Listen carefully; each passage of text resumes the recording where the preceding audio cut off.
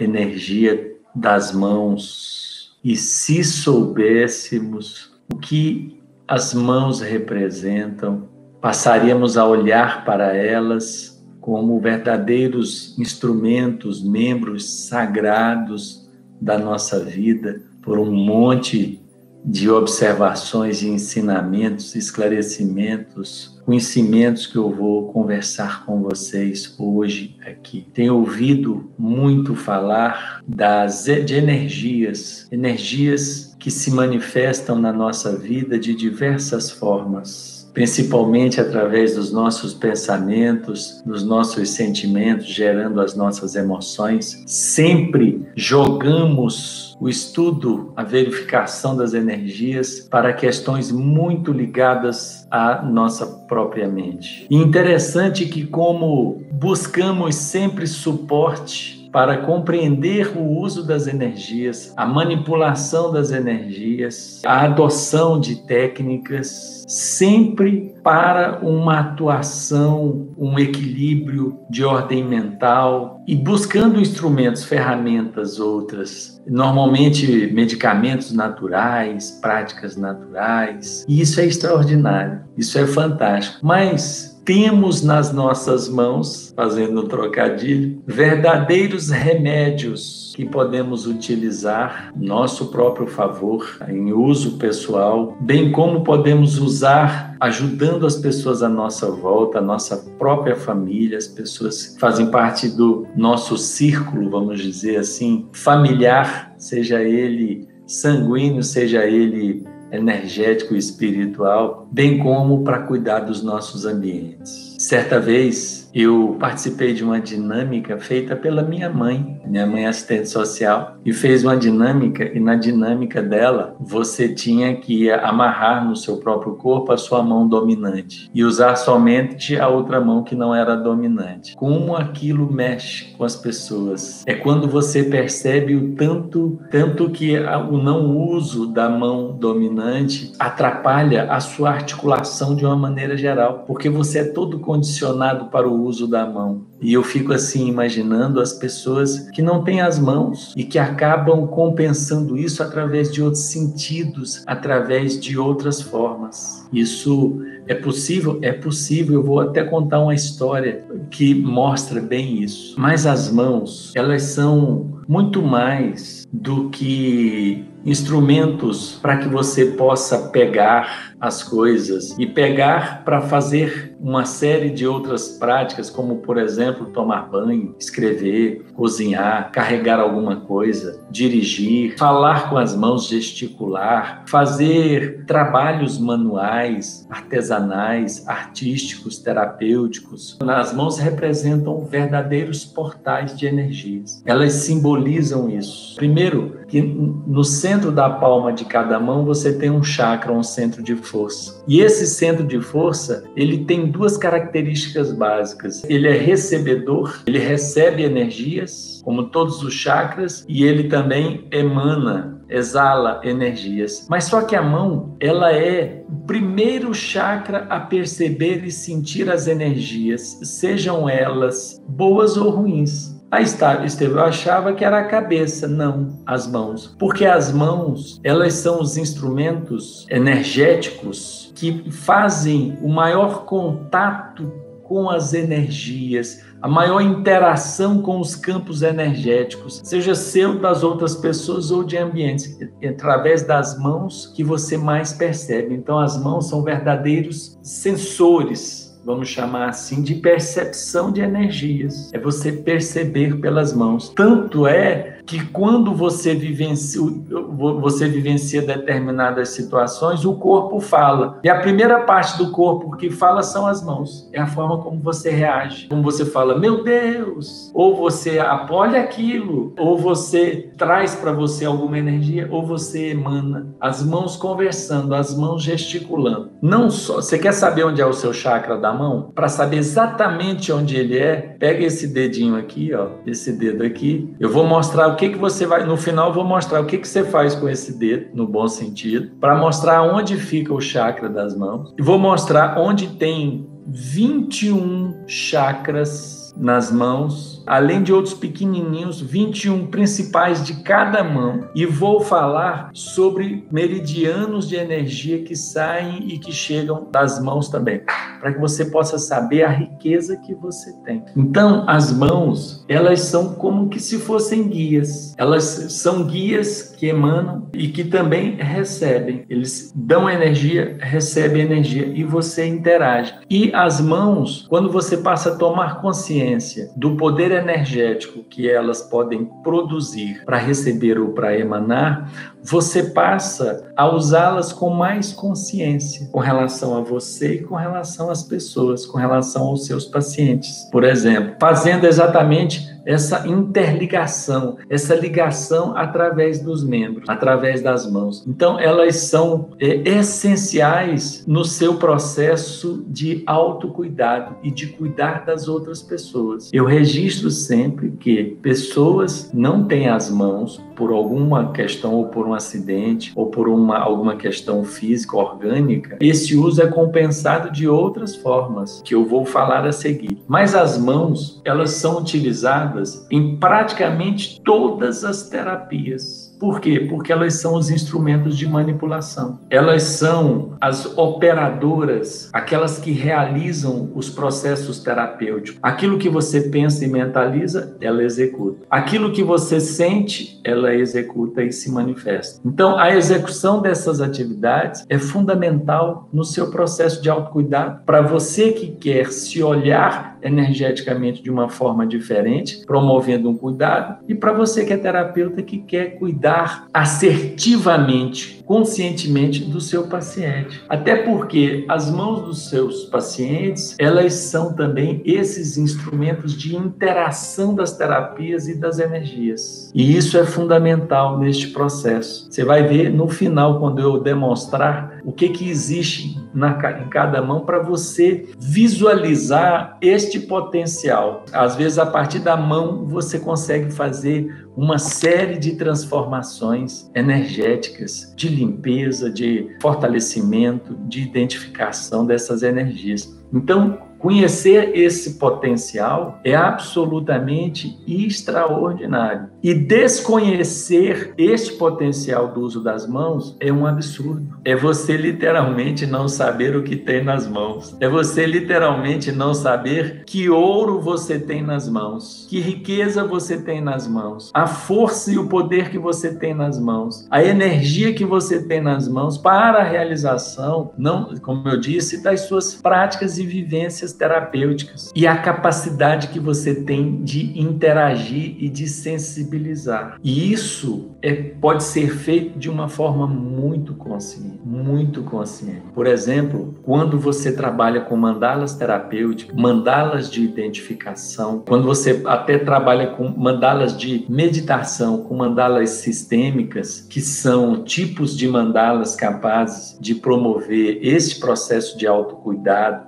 e de cuidar cuidar das pessoas, dos pacientes e dos seus e dos ambientes, as mãos têm um papel preponderante na, na execução, na realização. Então, por quê? Porque elas servem exatamente como espécies, vamos dizer, vamos chamar assim, órgãos de percepção de energias, de identificação de energias de vibração. Então, elas servem, são canais energéticos. E quando você toma consciência disso e desenvolve, você passa a atuar de uma forma diferente, como por exemplo, eu consigo sentir se a pessoa tem uma carga negativa tocando o campo áurico dela, sem precisar conversar e encostar nela. Então, o campo áurico que a envolve, ele fica uma certa distância, dependendo da pessoa. Então, se eu chego, toco o campo áurico, eu sei perceber através das mãos, porque as minhas mãos são sensibilizadas para isso ao longo de toda a minha trajetória de terapeuta, de espiritualista, eu percebo, eu sinto. Eu não preciso falar com a pessoa. E se eu fizer passar a mão no campo energético,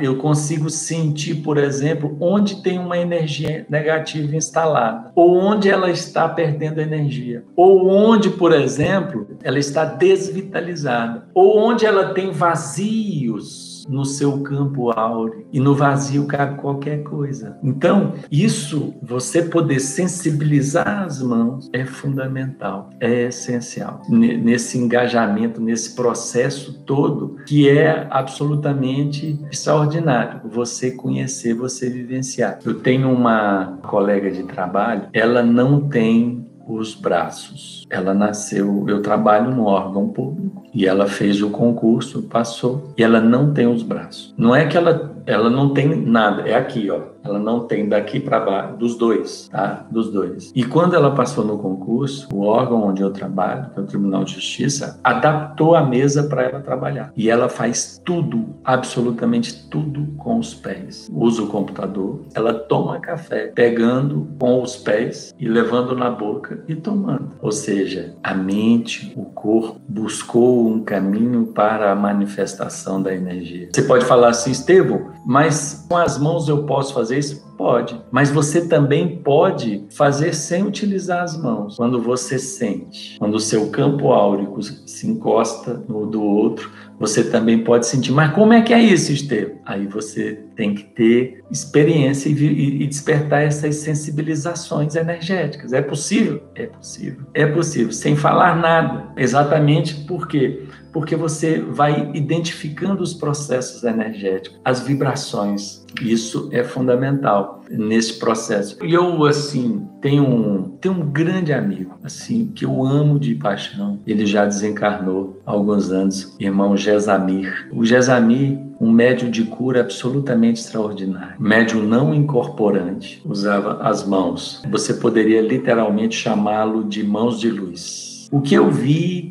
aquele homem fazer com as suas mãos, com a sua energia, o poder curativo é absolutamente extraordinário, absolutamente extraordinário. Eu vou contar uma passagem dele. O vamos dizer que ele, de tipo de pessoa, ele é metade racional e é metade emocional. Eu me lembro que e ele se envolvia emocionalmente com os, com os pacientes, com as pessoas assistidas. E certa vez, uma criança estava passando por um problema de saúde, ela tinha um, uma suspeita de ter um câncer no pulmão e começou a fazer um tratamento no GFA. E aí o, o esses casos sempre caíam com ele. E eu me lembro que ele se envolvia emocionalmente muito com isso. E no dia que ela ia fazer um exame para identificar, fazer uma, uma, uma espécie assim, um exame de imagem para identificar o pulmão. Ele foi para o hospital onde ela ia fazer o exame. E aí a família ficou muito emocionada com a presença dele lá e tal. E aí ele ficou de fora da sala rezando. E eu me lembro dele me contar isso. Ele ficou assim, do lado de fora rezando. E aí depois ele foi embora e tal. Na semana seguinte a família foi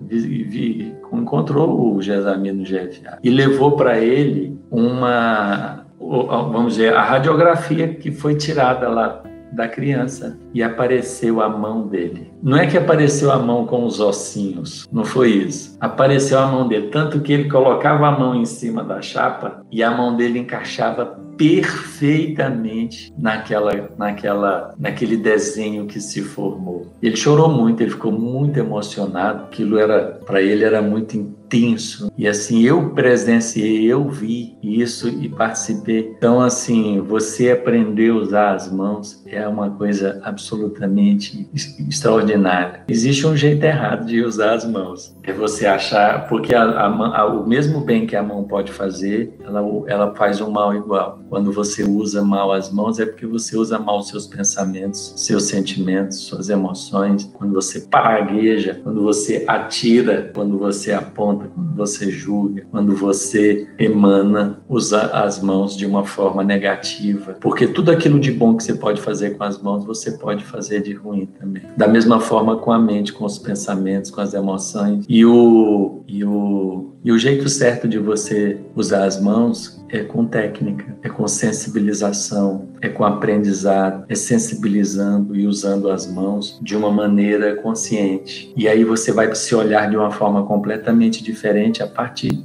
de um pequeno membro. Então aqui, ó, vou mostrar aqui para vocês aqui. Ó. Onde é que fica o chakra da palma da mão? Você vai apontar bem aqui no meio, não é? O chakra da palma da mão fica aonde o dedo anelar encosta. Não é o dedo médio, é o dedo anelar, aonde ele encosta. Você vai perceber que ele encosta no centro. Aonde ele encostar, é o seu chakra da mão aqui. Aonde o dedo anelar encostar, você aperta, é onde fica o seu chakra. O meu é aqui. Aí você tem outro aqui na digital do dedo mínimo, outro na digital do dedo anelar, outro na digital do dedo médio, outro na digital do indicador e outro na digital do polegar. Sem contar que você tem mais cinco aqui, ó. Um na ponta do mínimo, outro na ponta do anelar, outro na ponta do dedo médio, outro na ponta do dedo indicador, outro na ponta do dedo polegar. Sem contar que você tem vários meridianos, começam ou terminam é, nos dedos, tanto dos pés quanto das mãos. Esses meridianos, de acordo com a medicina tradicional chinesa, meridiano é um canal, é um duto onde a energia conduz, o chi passa, onde a energia flui. E os meridianos, eles têm, digamos assim, determinados pontos. É como se fossem escadas que você vai subindo degrau a degrau para chegar numa determinada energia. Então, por exemplo, aqui no dedo mínimo, você tem dois meridianos no dedo mínimo. Do lado de fora, você tem o um meridiano do intestino delgado e do lado de dentro aqui você tem o um meridiano do coração. Quando você tem um alguém está passando mal, você acha que é do coração, a pressão, não sei o que, você pega no dedo mínimo e massageia a pontinha. Você está vitalizando a pessoa. No polegar, você tem o meridiano do pulmão. No indicador, você tem aqui o meridiano do intestino grosso. Intestino grosso. Aqui no, no, no médio aqui, você tem o pericárdio. Pericárdio, a gente aprende é aquela membrana que envolve o coração mas é um meridiano funcional, ele tem a ver com proteção. No anelar você tem o triplo aquecedor, que ele na verdade não é um órgão, ele trabalha o equilíbrio do seu metabolismo, do seu funcionamento. Tudo isso na palma das mãos. Então, aqui no coração, você trabalha emoções do coração, sentimentos, alegrias, tristezas, angústias. Você trabalha o intestino delgado e o, intestino grosso, aquilo que você não consegue digerir emocionalmente, aquilo que fica entalado, que fica guardado, fica grudado em você.